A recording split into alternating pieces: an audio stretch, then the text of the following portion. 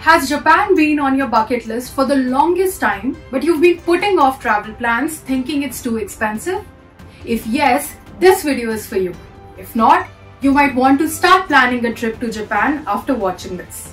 The Japanese yen has substantially weakened against the US dollar compared to 5 years ago. Today, 1 US dollar buys around 154 to 156 yen, a staggering 43% more than what was 5 years ago, and the weakest since 1990. And why is that? Even though the Bank of Japan made a historic shift out of negative interest rates in March, interest rates in Japan remain much lower than those in the United States and elsewhere.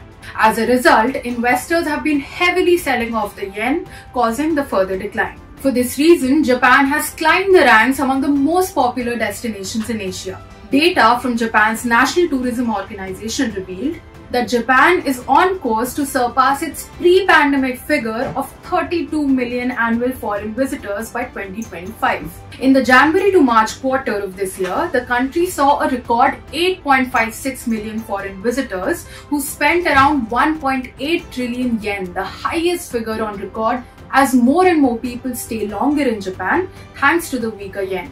Japan has also become a new favorite for shopaholics. Savvy shoppers from around the world are flocking to Japan, a country long associated with premium experiences and goods, to purchase discounted luxury items and resell their own luxury collections for a profit. To name a few, according to an April 16 Bloomberg report, the classic Chanel handbag, a black lambskin purse, retails at around $10,200 in Japan versus $11,700 in the US. And a pair of 1950s style Gucci loafers made of leather costs about $800 in Japan versus $900 in the US.